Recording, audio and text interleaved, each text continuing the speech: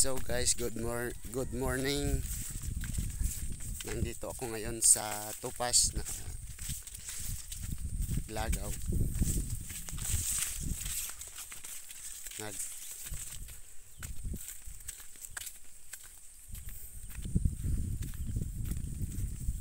Tigtanaw sang akon yung mga maisan.